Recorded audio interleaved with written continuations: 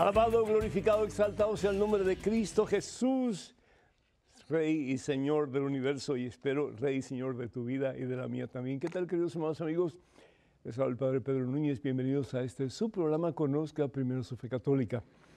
En estos días estamos celebrando un tiempo muy especial en la Pascua de nuestro Señor Jesucristo, es decir, en el tiempo de resurrección. Estamos celebrando la misericordia de Dios. Sí, tanto, tanto nos ha amado, dice el evangelista Juan, el Evangelio según San Juan, capítulo 3, versículo 16, que dio a su único hijo. Más que eso, imposible ser misericordioso. Es decir, lo da todo. Lo único que espero es una cosa, que nosotros recapacitemos, que nosotros comencemos a vivir de acuerdo a su santa voluntad, que al fin y al cabo está basado en pura misericordia, en amor puro. ¿Por qué? Porque Él quiere lo mejor para nosotros. Este programa vamos a estar compartiendo sobre la misericordia de Dios y también pues respondiendo muchas de sus preguntas. Muchísimas gracias por todas las preguntas, comentarios que ustedes nos hacen constantemente. Ustedes son los que hacen posible este programa. Con esto en mente, hermano, hermana que me escuchas, hacemos un alto en nuestro acelerado caminar diario, nos ponemos en presencia de Dios, vamos a orar. En el nombre del Padre, del Hijo y del Espíritu Santo. Amén.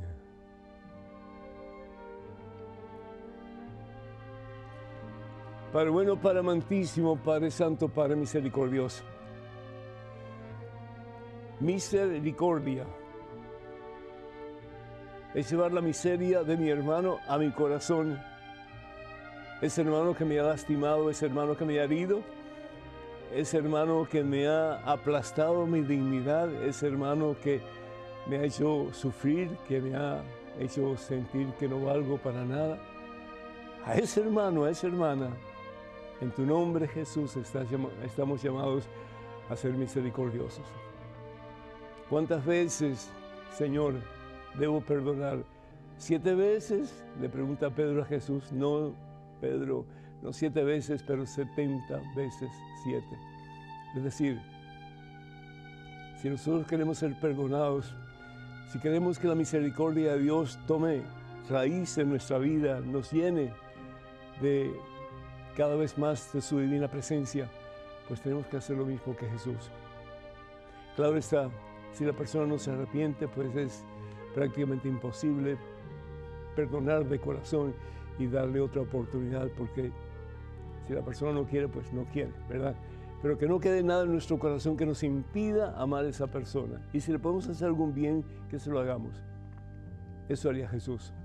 Y nos tenemos que preguntar, Padre Santo, un poco más, ¿Qué haría Jesús en esta situación en que estoy? ¿Qué haría Jesús con este hermano que me ha lastimado? ¿Con esta hermana que me ha ofendido? ¿Qué haría Jesús? ¿Cómo actuaría? Y danos, oh Dios, en estos momentos la gracia para poder actuar según la voluntad tuya, que al fin y al cabo es ser como Jesús. Extensiones de Jesús, que cuando la gente te vea a ti, hermano, hermana, pueda haber un reflejo de Jesús en tu vida, en tus acciones, en tus palabras, en tu forma de vivir tu vida en relación a Jesús. Padre Santo, Padre Misericordioso, bendice a este hijo tuyo que tanto tú amas, bendice a esta hija tuya que tanto tú amas, Señor. Yo te pido muy particularmente por ellos, en este tiempo que tal vez puede ser difícil para algunos de ellos, de poder, Señor, perdonar como tú nos pides que perdonemos. En este tiempo difícil que tal vez sea más fácil irnos por el camino opuesto, de dar la espalda a estas personas. Ayúdanos, oh Dios, a ser misericordiosos, como tú eres misericordioso con nosotros, Señor. Entonces, mi Dios, de tu mano, haciendo tu voluntad, no solamente haremos de este mundo lo mejor, pero nosotros nos sentiremos mejor. Más llenos de ti, Señor, más llenos de tu amor, y al fin y al cabo, pues eso es lo que tú quieres.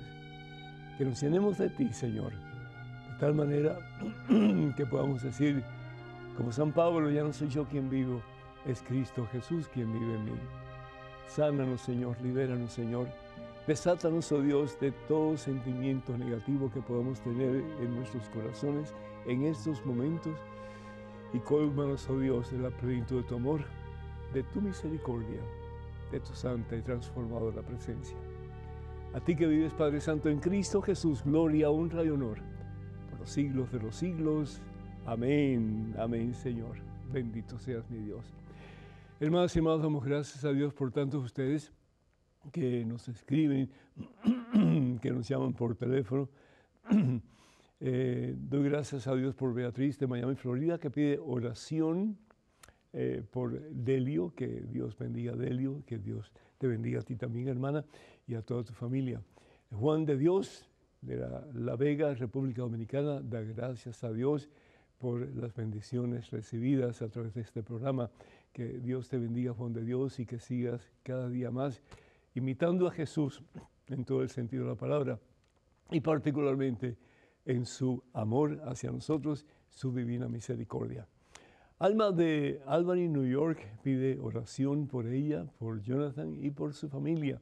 Que Dios les bendiga a todos en superabundancia. Y Javier Mauricio de Bolivia pide por la situación política de su país y de toda América Latina. Y sí que tenemos que orar, hermanas y hermanos, porque la situación en muchos de nuestros países parece que cada vez va peor.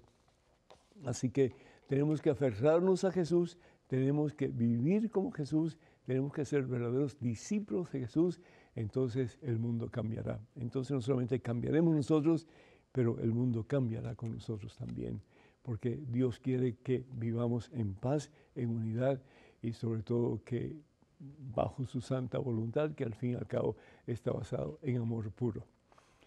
Rubia de Oaxaca, México, felicita al Padre por el servicio que presta a la iglesia y que el Señor lo siga bendiciendo en su ministerio. Muchísimas gracias, Rubia, muy agradecido. Muchas bendiciones para tu familia también en estos días, particularmente en este tiempo de misericordia. Y Hernando de Antioquía, Colombia, pide por su familia y por su matrimonio que Dios te bendiga, mi hijo, y que tú seas un ejemplo para tu esposa, para tus hijos de vida cristiana, de vida cristiana, de discipulado de Cristo en todo el sentido de la palabra. Y también, pues, Sally de, de Wisconsin, de Rochester, Wisconsin, pide oración por Magdaleno y por Lucía también, que Dios les bendiga en abundancia. Y también, hermanas y hermanos, pedimos por todos aquellos que solicitan oraciones de parte nuestra a través de los medios de comunicación social que, tenemos a, nuestra disposición, bendito sea Dios. Y les recordamos que los medios de comunicación social de este servidor son los siguientes. Está Facebook y para comunicarse con nosotros a través de Facebook y por favor háganlo para que pues eh, podamos entrar en contacto con ustedes. Y si le pueden poner pues me gusta o like a lo que ustedes ven en, la pantalla de sus eh, celulares o en fin los medios que ustedes usen, por favor háganlo porque de esa forma pues estamos conscientes de que lo que estamos haciendo pues vale la pena. Gracias. Sí, eh, de nuevo facebook.com diagonal Pedro Núñez es la dirección facebook.com diagonal Pedro Núñez. Estamos también en Twitter, en Instagram y en YouTube. Para comunicarse con nosotros a través de esos medios, por favor, vayan a Padre Pedro Núñez. Padre Pedro Núñez. Acuérdense que en Estados Unidos, en el idioma inglés, la ñ no existe nos han quitado la ñ. Bueno, desafortunadamente, pero afortunadamente seguimos con el apellido. Y por favor recuerden, tengan mucho cuidado con perfiles falsos que piden dinero en mi nombre. Eso nunca lo haríamos a través de estos medios que acabo de mencionar. Bendito sea Dios.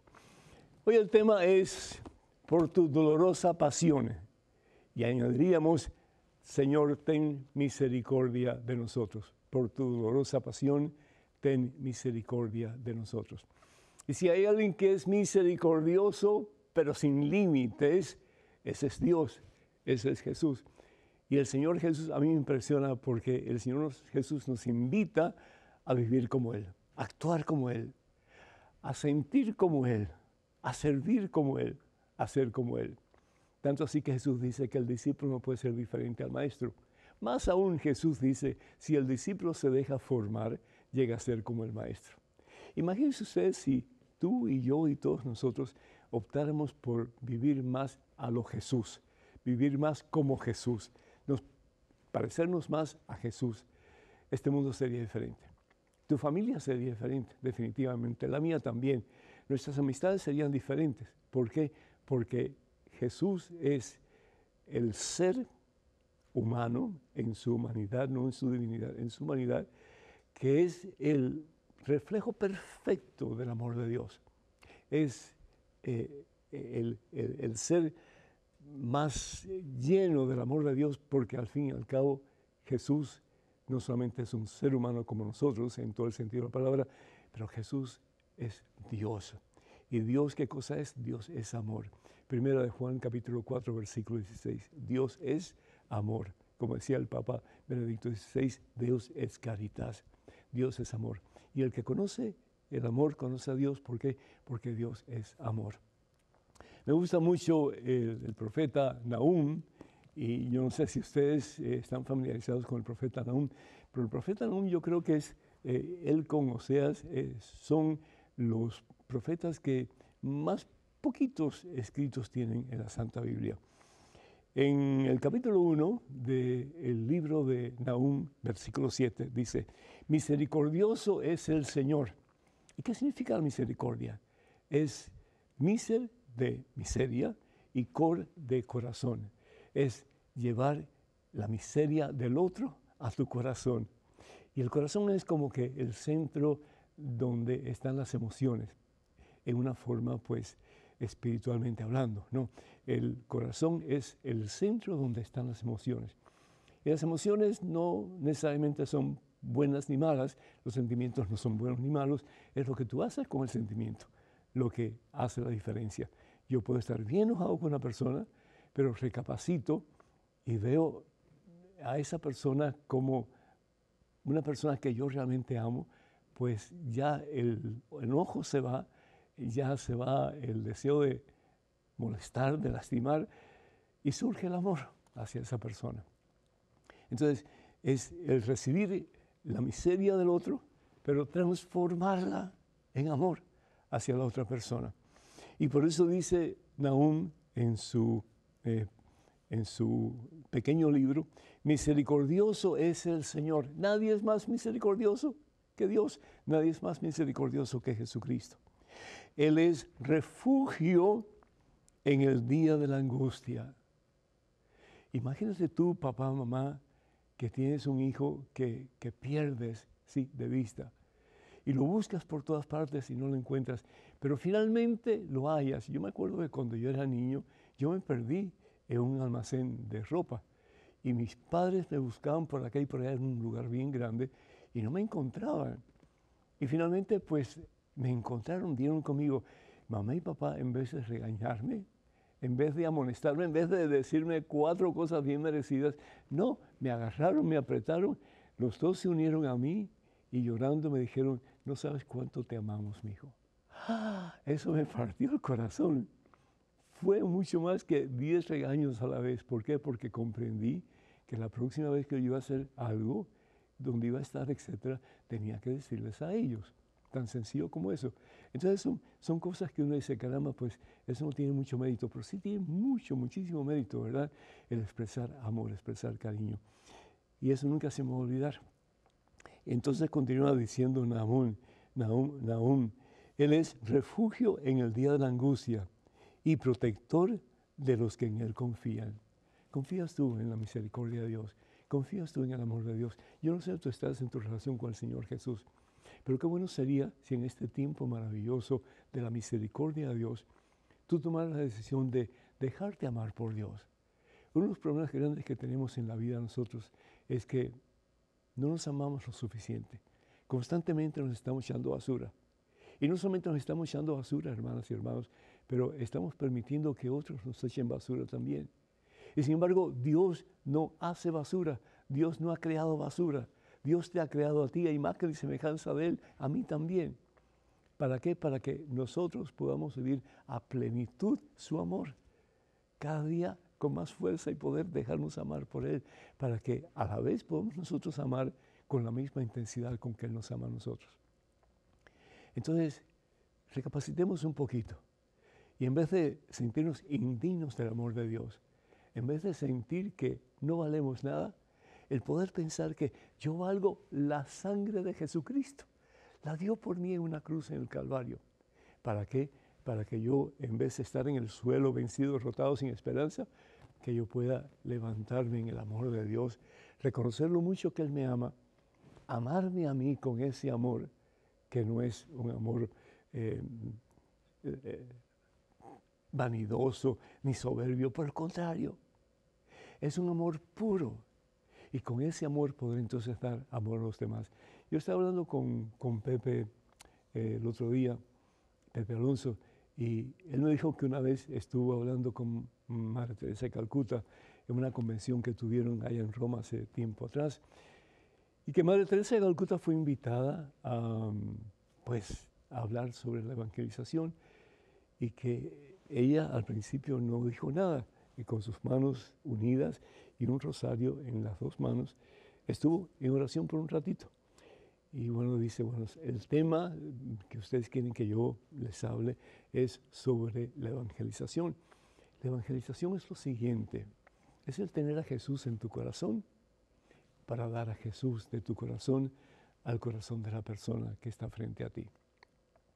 Y esa es la misericordia de Dios. Dios quiere llenarte de su amor.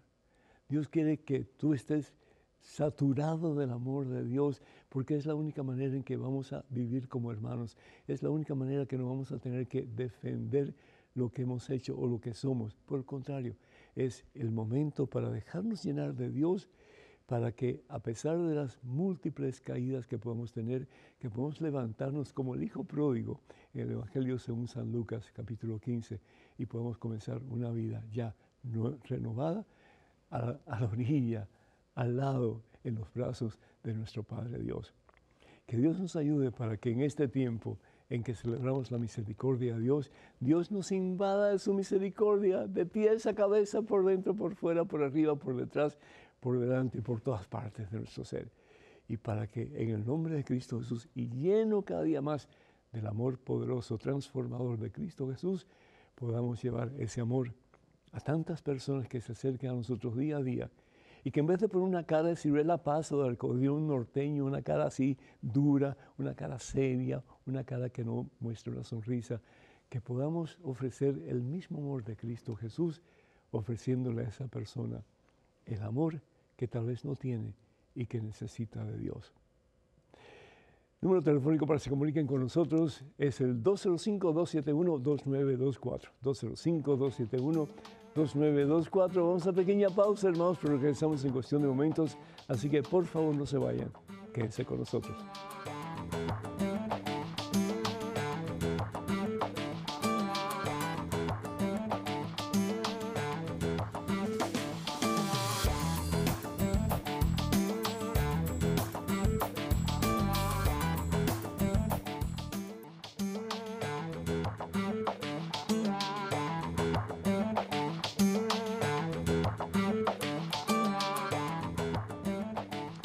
Gloria al Rey de Reyes, gloria al Señor de Señores Jesucristo. Hermanas y hermanos, qué gusto estar con ustedes en este su programa Conozca Primero su Fe Católica y en este segmento. Bienvenidos y qué bueno que podemos compartir un poquito la palabra de Dios y nuestra fe en ese en quien todo lo podemos, ese que nos ama al extremo, ese que lo dio todo hasta la última gota de su sangre en una cruz en el Calvario, su nombre es Jesucristo.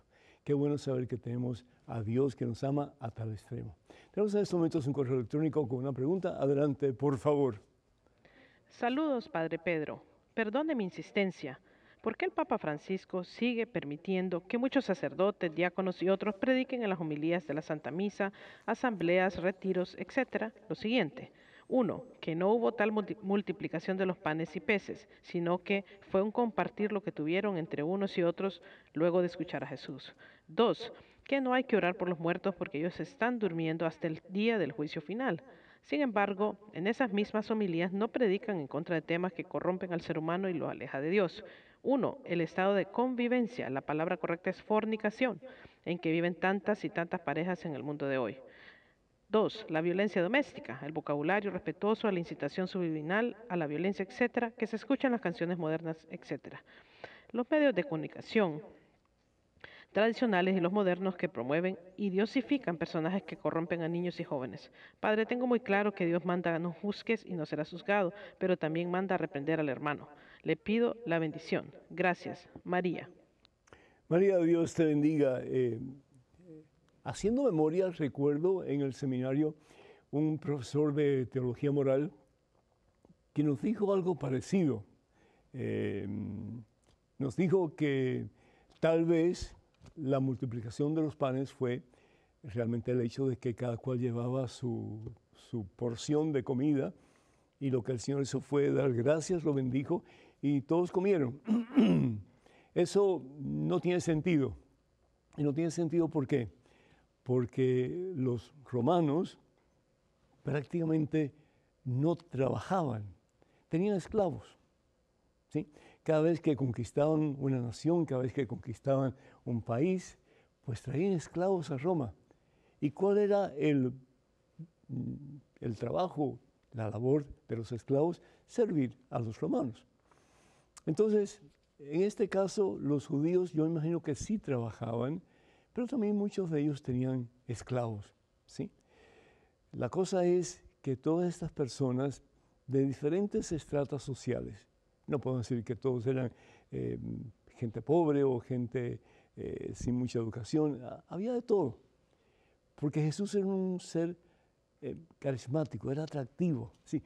a la gente le gustaba escucharlo, no todo el mundo estaba de acuerdo con lo que decía, pero gustaba escucharlo.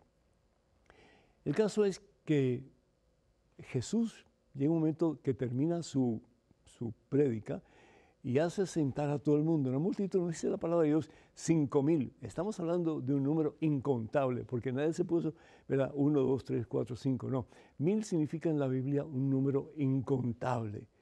Y cinco, pues quiere decir un número muy grande también, ¿no? Cinco mil. Y entonces es él quien pide a los discípulos que eh, traigan algo de comer. Y lo que había era un niño que tenía panes y pescado. Pero eso no es suficiente, le dicen. Sin embargo, él dice, tráiganlo. lo pequeño en las manos del Señor se convierte en algo grande. Lo ordinario en las manos del Señor se convierte en algo extraordinario, María. Y el Señor hace la multiplicación de los panes y de los peces. Y todo el mundo come, nos dice la palabra de Dios. Todo el mundo come y sobran 12 canastos, es decir, sobra porque Dios es misericordioso completo y totalmente.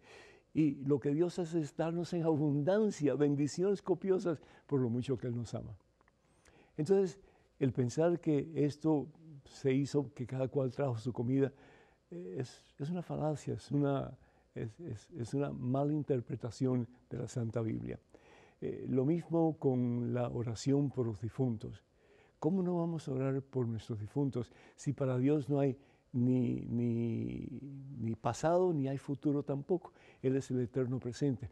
Y si yo muero acá y alguien está celebrando la Santa Misa por mí acá, yo recibo gracia santificante en el momento que yo voy a entregar mi alma al Señor para que pueda hacer las paces con Dios antes de entrar en su presencia que yo tenga que pasar un tiempo más o menos largo, depende, en purgatorio, y eso es otra cosa, pero por lo menos no voy al infierno. Entonces, importante la oración por los difuntos, particularmente la Santa Misa. ¿Qué hacer con estas personas que pues no están predicando lo que deben de predicar? Pues, ¿qué es lo que dice la palabra de Dios? La palabra de Dios nos dice en el Evangelio según San Mateo, capítulo 15 eh, en adelante, dice, si tu hermano ha pecado, vete y habla con él. Vete y habla con él. Esa sería la sugerencia que Dios nos daría a nosotros. Ves y habla con él. Si te escucha, has ganado un hermano. Pero si no te escucha, ¿qué hacer? Pues yo te aconsejo, hermana, que vayas a hablar con el obispo y que le digas al obispo, tome cartas en el asunto. Es decir, el Papa no tiene que ver nada con esto. El Papa tiene eh, bajo su responsabilidad la Iglesia Universal y es imposible que él esté eh, consciente de lo que cada sacerdote hace, lo que cada religioso hace, cada religiosa hace. No, para eso están los obispos. La palabra obispo significa supervisor. Es una palabra griega que significa supervisor. Y son los obispos los llamados a poner en orden el, el personal de su diócesis, es decir, los sacerdotes religiosos, religiosas, laicos, etc. Entonces, con quién hay que hablar si estas personas no obedecen, si no cambian su modo de, predicar, de enseñar, pues hay que ir a la persona responsable en esa diócesis, que es el obispo. Y si el obispo no hace caso tampoco, no hace lo que tiene que hacer, pues entonces hay un nuncio apostólico o hay un delegado apostólico que representa al Papa en el país de cada uno de nosotros. Y hay que ir a esa persona, hay que escribirle a esa persona. Y entonces ya estamos hablando de lo que se hace en última instancia para que el Papa, el Papa tome decisiones, no solamente sobre las personas que están predicando incorrectamente, pero también sobre las personas que en alguna forma no están haciendo su trabajo, particularmente el obispo de esa diócesis. Yo jamás he escuchado en ninguna conferencia en la que he estado, he estado en muchas, eh, ni tampoco en ninguna predica, y he estado en muchas, a ningún sacerdote, ningún laico, hablar de la manera en que tú te has referido hace un momento. Pero de que puede existir, definitivamente puede existir y estoy seguro que existe. Y tienes toda razón para alarmarte. Habla con esa persona, si esa persona te escucha, bien, bendito sea Dios. Pero si no te escucha, habla con el obispo. No es el Papa, es el obispo el encargado de esa diócesis o de ese territorio quien tiene que tomar acción. Que Dios te bendiga. Tenemos un correo electrónico en este momento con una pregunta. Adelante, por favor. Saludos, Padre. Mi duda hace referencia a la cita que encontramos en Levítico 19, 33, 34. Me ha generado un dilema moral, puesto que aquí en mi país tenemos serios problemas con la migración descontrolada y por desgracia, la gran mayoría de estas personas solo viene a delinquir y empeorar nuestra calidad de vida. Con ellos también debemos ser condescendientes y no molestarlos, como dice el pasaje de Levítico, esperando su sabia reflexión. Un abrazo. Renzo, de Chile. Renzo, muchísimas gracias. Es decir, eh, en ninguna parte de la Biblia aparece esta frase. Eh, tenemos que odiar el pecado, es decir, repudiar el pecado, pero amar al pecador. En ninguna parte. es decir, de esa manera, explícitamente así, no existe. Pero sin embargo, la Santa Biblia constantemente nos está recordando que lo que hagamos por el hermano, pues lo hacemos también de alguna forma por Dios. Jesús llega a decir en el Evangelio según San Mateo capítulo 25, versículo 40, precisamente eso. Tuve hambre, me diste de comer, tuve sed, me diste de beber. Y cuando tuvimos hambriento, sediento, etcétera, y el Señor va a decir, lo que hicieron por el más pequeño de mis hermanos, lo hicieron por mí. Entonces, perdón, el, estar consciente de que son dos cosas diferentes. Tenemos que amar el pecador, pero repudiar el pecado en cualquier forma que esté. No discriminando acerca de, de esa persona, lo que esa persona está haciendo, pero sí como que dejando bien claro de que no estamos de acuerdo con la forma de actuar de esas personas. La palabra de Dios también en el Evangelio según San Mateo, en el capítulo 12, pues nos habla de algo parecido. Aquí eh, en el capítulo 12 nos dice la palabra de Dios lo siguiente. Vamos aquí un momentito. El capítulo 12, versículo 34. Dice que Jesús amaba al pecador, pero Jesús también rechazaba, repudiaba el pecado. Y aquí a los fariseos no les dice, ay, mijito, pues está bien, no se preocupen, ¿sí? Eh, lo que están haciendo de, apuntar con el dedo a los otros y de rechazarlos, está bien, ¿verdad? No, eso no dice eso. Les dice, raza de víboras, si ustedes son tan malos, ¿cómo pueden decir que son buenos? La boca siempre habla de lo que está lleno el corazón. Supuestamente eran los más religiosos en el tiempo de Jesús. Supuestamente eran los que hacían más sacrificios, los que daban más dinero al templo. Y sin embargo Jesús los llama raza víboras. ¿Por qué? Porque Jesús los ama y los ama a tal extremo que quiere que ellos rectifiquen lo que están haciendo que está mal hecho. Todos nosotros podemos mejorar. Todos nosotros podemos ser amonestados en alguna forma con la esperanza de que hagamos las cosas mejor. Pero en este caso, le está diciendo también a esta gente, aunque yo los amo, aunque quiero mejor para ustedes, lo que ustedes están haciendo es horrible. No es de acuerdo a la voluntad de Dios y por lo tanto ustedes con una mano están tratando de hacer las cosas que le complacen a Dios, pero con otra están aplastando lo que hacen. Jesús es bien drástico en ese aspecto. Entonces, sí, amar al pecador, pero no amar al pecado. Si ellos están haciendo algo indebido, hay que decirlo a las autoridades para que se ponga orden en tu ciudad, en tu país, porque al fin y al cabo eh, tenemos también el derecho de que haya estabilidad, de que haya armonía, de que haya paz y de que haya pues eh, cooperación de todos, incluso los que vienen de afuera, para hacer de ese país, de esa ciudad, pues un país mejor, una ciudad mejor, en que todos podamos aportar por el bien común. Que Dios te bendiga. Tenemos un correo electrónico con una pregunta. Adelante, por favor. Hola, Padre Pedro. Me gustaría su opinión, ya que veo que Dios lo ilumina con el don del consejo. La situación mía es que hace unos meses mi esposo y yo nos hemos separado después de 17 años juntos. Yo soy católica, pero mi esposo no. Yo sigo orando por su conversión. Mi dilema es si debo seguir sola, separada, o si comienzo un proceso para obtener la declaración de mi matrimonio nulo en los tribunales eclesiásticos. Para mi esposo la fe católica no significa nada, él mismo lo ha dicho, y muchas veces ha saboteado mis actividades en la iglesia. También tiene una adicción de la que no habló antes de casarnos, la pornografía. Yo he pedido muchas veces que deje eso, pero no lo deja. He tratado de hacerle ver la versión, la visión de lo sagrado del cuerpo humano, no solo por el sentido religioso o espiritual, espiritual, sino por el sentido del respeto humano. No sé qué hacer, no sé qué será lo mejor para todos. También me dejó pensativa y triste ver cómo trató a sus padres durante sus últimos días enfermos. No los visitaba. Su papá, mi suegro, pidió verlo pocos días antes de morir y él se negó a verle. Mi esposo, aunque está en contra del aborto, es pro eutanasia. Son muchas cosas, Padre Pedro. No sé qué hacer. Por favor, dígame su parecer desde la fe católica. Gracias, Marirene. Maribel, Dios te bendice. Muchísimas gracias por confiar en, nuestro aporte a tu decisión, que yo sé que es bien difícil. Tantos años de casado, me imagino que muchos de estos años han sido años de, pues, de, un posible infierno, ¿no es cierto? Eh, sobre todo si tu esposo está dado a la bebida, si tu esposo está dado a la pornografía, si tu esposo no te respeta, pues entonces el, el, matrimonio realmente, me pregunto yo si es un verdadero matrimonio cristiano, si es verdaderamente un sacramento o no.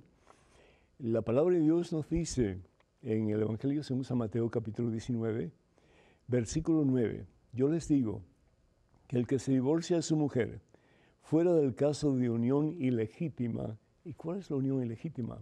Hay muchas causas que eh, se pueden presentar para anular un matrimonio, es decir, para que el matrimonio quede mm, como si nunca hubiera habido un matrimonio. No es un divorcio, la iglesia no acepta divorcio, la iglesia católica eh, jamás va a divorciar a nadie. Perdón. La Iglesia Católica lo que hace es ver la situación de la pareja, la situación de la persona que está pidiendo la nulidad y trata de examinar todas las posibilidades. Si realmente este matrimonio, el Señor estaba presente en esa situación o si no estaba presente. Si fue un matrimonio verdaderamente cristiano o si no lo fue hay muchas causas para definir si realmente fue un matrimonio de acuerdo a la voluntad de Dios o si no fue de acuerdo a la voluntad de Dios. En tu caso, por lo que tú estás diciendo, tú tienes más que suficientes causas para que tu matrimonio eh, se declare nulo, es decir, como que nunca existió. La pregunta es si realmente debes hacer eso. Em, yo lo que haría ante todo es orar mucho, pedirle mucho al Señor que te dé discernimiento para hacer su santa voluntad. Yo no sé si tienes hijos, pero si tienes hijos, piensa que un matrimonio que se disuelve, eh, que se cancela, que hay separación entre los dos eh, de forma legal, etcétera, pues va a afectar a los hijos. Aunque la pareja piensa que no, va a afectar tremendamente a los hijos. Entonces yo creo que debes pensar en ti definitivamente, pero debes pensar también en tu esposo y debes pensar en tus hijos. No estoy diciendo que continúes con Él, pero lo que estoy diciendo es que tienes que tener un proceso de discernimiento y para eso necesitas tiempo para orar y pedir al Señor que te guíe. Lo segundo, el segundo paso que yo haría en ese tiempo de oración es hablar con un sacerdote que sea tu confianza, que le puedas expresar lo que nos has expresado nosotros. ¿Qué hacer en esta situación? Y Él te va a dar pautas a seguir en mi, situación hacia ti, yo que conozco tan poco lo que realmente ha pasado en tu vida, lo que sí te puedo decir es que tienes dos opciones. Una, el divorcio, la separación total eh, de manera civil entre él y tú. La otra es que haya una separación legal sin divorcio por un tiempo y que tú hables con él y digas, mira, o cambiamos o buscamos ayuda o esto pues no puede continuar así. Dios no quiere que vivas un infierno, pero Dios quiere que hagas todo lo posible por ayudar a aquella persona que Dios en alguna forma ha puesto cerca de ti para que tú le ayudes a caminar en el camino del Señor. Eh, tenemos misiones en la vida y muchas veces las misiones que tenemos, que Dios permite, eh, no son las más agradables, pero al mismo tiempo son misiones que a través de nuestro comportamiento pueden ayudar a las otras personas que no está en el camino de Dios, acercarse más a Él. Pero es una decisión que tú tienes que tomar, ¿sí? Y que nadie puede tomar más que tú delante de Dios. Cuenta con nuestras oraciones. Teléfono, número telefónico para que se comuniquen con nosotros, 205-271-2924. Repito, 205-271-2924. Vamos a una pequeña pausa, regresamos en cuestión de momentos. Así que, hermanas y hermanos, por favor no se vayan, quédense con nosotros.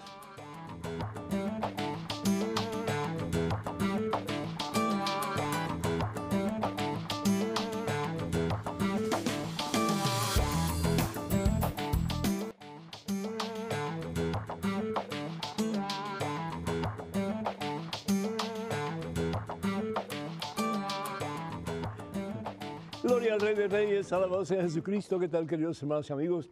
Bienvenidos a este subsegmento de este subprograma Conozca Primero su Fe Católica. En estos momentos tenemos una llamada desde Puebla, México, de Carmen. Carmen, ¿me escuchas? Sí, sí lo escucho, padre. Bienvenida, Carmen. Adelante con tu pregunta o tu comentario, por favor. Sí, muchas gracias, padre. Mire, este, yo he escuchado que dicen que el único pecado que no se perdona es cuando pecamos contra el Espíritu Santo. Pero yo no sé qué significa esto, yo no sé qué pecado es tan grave, no, no entiendo. Entonces, usted fuera tan amable de explicarme.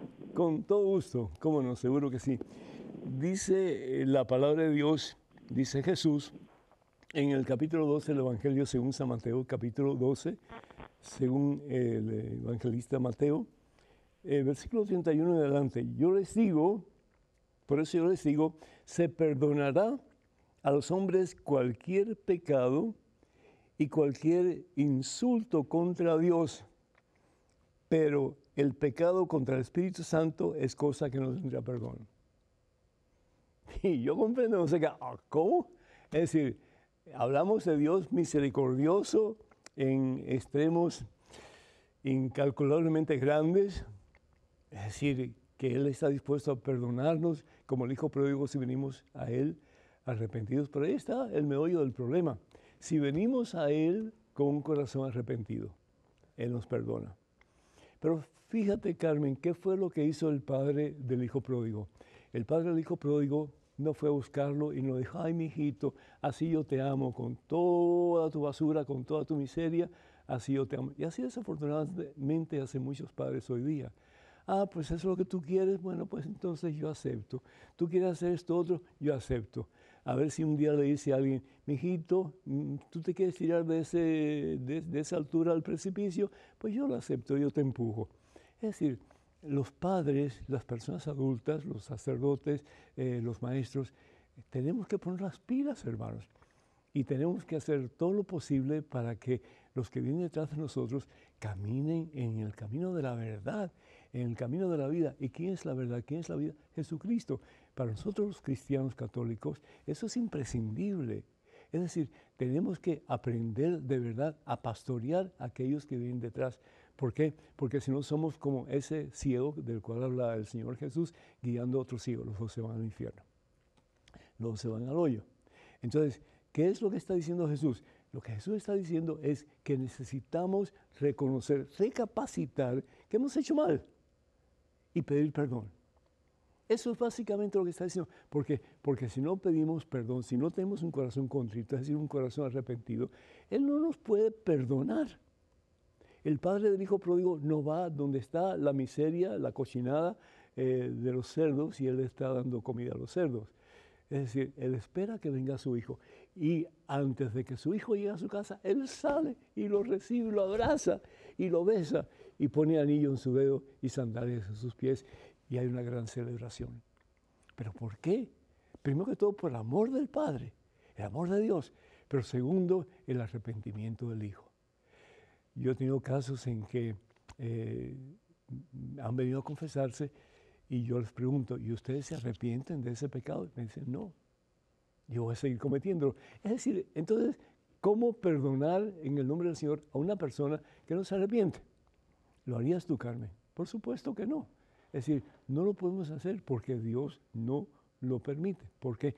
Porque Dios necesita que nos arrepintamos y Él con todo amor del mundo, con toda misericordia que existe y mucho más allá todavía, nos perdona y nos da la posibilidad de un nuevo comienzo. Ojalá que esto te haya ayudado. Ese es el pecado contra el Espíritu Santo. ¿Y por qué Espíritu Santo? Porque el Espíritu Santo es el amor puro de Dios, el amor entre el Padre y el Hijo. Dios es amor y ese amor es reflejado en su plenitud en la tercera persona de la Santísima Trinidad, que es el Espíritu Santo. Fíjense que cuando Jesús va a ser bautizado y es bautizado, el Espíritu Santo desciende. ¡Wow! A plenitud llena Dios a Jesús de la plenitud del amor de Dios en su humanidad. Bendito sea Dios. Tenemos un correo electrónico con una pregunta. Adelante, por favor. Bendecido y apreciado Padre Pedro, reciba afectuosos saludos. Si Matías fue escogido en reemplazo de Judas Iscariote para completar los doce, entonces con Pablo fueron trece apóstoles. Agradezco de antemano su sabia explicación. Bendiciones, Isabel, desde Ecuador. Muchísimas gracias, Isabel. Muy agradecido, muy interesante tu pregunta. Pues primero que todo, eh, el Señor Jesús escoge a doce apóstoles. Y eso lo vemos en el Evangelio según San, el Evangelio según San Mateo, en el capítulo 10, versículo 1 en adelante. Dice, Jesús llamó a sus doce discípulos y les dio poder sobre los espíritus impuros para expulsarlos y para curar toda clase de enfermedad y dolencia. Escoge a doce. Y, no es así como que escoge a doce pudiendo haber escogido a diez o a quince. No, escoge a doce. ¿Por qué? Porque en el Antiguo Testamento eh, la, fe se establece sobre doce tribus, las doce tribus de Israel. ¿sí? Y eso lo vamos a ver en el libro del Apocalipsis, capítulo 21, versículo 2, como en la nueva Israel, que al fin y al cabo es la iglesia, los doce apóstoles, que son los pilares de la iglesia de Jesucristo, la nueva creación. La creación antigua, pues, fracasó, es decir, se apartó de Dios y rompió la alianza. En el Nuevo Testamento, la alianza la hace el mismo Jesús con su Padre Dios. Se entrega por completo. Yo seré tu Dios, tú serás mi pueblo. Y la vida de Jesús fue un hacer la voluntad del Padre. Padre, que no sea mi voluntad, sino la tuya. Padre, aparte de mí este cáliz, pero que sea tu voluntad. Entonces, esa nueva creación, esa nueva alianza se establece para toda la eternidad en la persona de Jesucristo y su cuerpo místico que es la iglesia. Como bien sabemos en Colosenses capítulo 1, versículo 18, Jesús es la cabeza, pero nosotros somos el cuerpo de la iglesia. Al ser bautizados nos convertimos como en células de ese cuerpo maravilloso que es el mismo cuerpo de Jesús. Entonces, cuando nosotros, por ejemplo, hablamos acerca de Matías, eh, Matías fue consagrado, fue elegido por el mismo Dios, dice la palabra de Dios en Hechos de los Apóstoles capítulo 2, 1, capítulo 1, versículo 26, dice lo siguiente. Dice, echaron suerte entre ellos y le tocó a Matías, que fue agregado a los once apóstoles. Ya Judas había traicionado a Jesús, perdón, ya Judas se había quitado la vida y tenían que escoger a otro porque de nuevo los doce pilares de la nueva creación, la iglesia, y faltaba uno. ¿Y por qué escogen a Matías? Porque Matías había estado con Jesús desde el principio. Los que estaban aquí en el aposento alto, los que estaban aquí esperando la unidad del Espíritu Santo, eran los que realmente habían estado con Jesús desde el principio. Y Matías había sido uno de ellos. Pablo no estaba con la compañía de los discípulos desde el principio. Entonces Pablo, porque es entonces apóstol de Dios, porque él mismo lo dice, no porque, no porque haya sido parte de la compañía de Jesús, de los doce, sino porque él mismo siente que él es un apóstol de Jesús. ¿Y qué, qué significa la palabra apóstol? La palabra apóstol significa enviado. Y si realmente alguien fue enviado, pues fue Pablo. Él no es de la compañía de los doce, pero él se siente enviado por Dios. Tanto así que dice Pablo en su primera carta a los Corintios, el capítulo 1, versículo 1, lo siguiente. De Pablo, apóstol de Cristo Jesús, por decisión de Dios que lo ha llamado. Él siente que Dios lo ha llamado a él para ser apóstol. Y realmente pues él fue un gran apóstol, pero no fue de la compañía de Jesús. Pablo conoce a Jesús por una visión que él tuvo, Hechos capítulo 9, versículo 1 y adelante, cuando él iba camino a Damasco para perseguir a los cristianos. Y es en ese interín en que Pablo descubre su verdadera vocación y su verdadera vocación es ser apóstol para los gentiles, el enviado a aquellos que no son judíos, que no conocen al único verdadero Dios, es a ellos a quien él siente en su corazón que el mismo Dios lo está llamando a ser apóstol, a ser el enviado de los gentiles. Pero Matías es enviado por los apóstoles que tienen autoridad para escoger a otro para que sea parte de la compañía de los doce. Espero que esto te haya ayudado. Tenemos un correo electrónico, una pregunta, adelante por favor. Hola, Padre Pedro. Soy Kevin, tengo 11 años y soy de La Grita, Venezuela. Mi prima Camila y yo bautizamos a nuestro gato Lucas, ya que toda la familia lo amamos. Era de mi madrina, la cual murió hace ocho meses, y era un ser muy bueno y maravilloso. ¿Es malo bautizar a los gatos? Es que he leído varias páginas web en donde dicen que es malo. La semana pasada se nos murió Lucas. Unos perros lo mataron, así como han matado a muchos otros animales. Muchas gracias. Lucas, muchísimas gracias. Eh, perdona que, me sonría al escuchar tus palabras, pero me, alegra el corazón eh, tu, amor hacia, hacia tu gatito y también pues el deseo de que esté muy cerca del Señor. La palabra de Dios en la carta de San Pablo a los romanos, el capítulo 6, el versículo 5 adelante nos dice que, vamos a ver aquí, vamos al 3, 3 en adelante, dice así, no saben que nosotros, al ser bautizados en Cristo Jesús, hemos sido sumergidos en su muerte, es decir, morimos al pecado, morimos al mundo sin Dios, para unirnos a Jesús y convertirnos en esas células maravillosas que formamos parte del cuerpo místico de Jesús, del cual Él es la cabeza. Entonces, el bautismo es muerte al pecado y comienza una vida nueva. El gatito no peca. Es decir, ¿qué significa pecar? Significa desobedecer a Dios. Eh, los animales no pueden desobedecer, desobedecer a Dios. Eh, ellos tienen instintos y se dejan guiar por esos instintos que el mismo Dios ha puesto en su ser. Entonces, cuando tú bautizas a, un gato, lo que estás haciendo realmente es bendiciendo la obra que Dios ha hecho en ese gatito.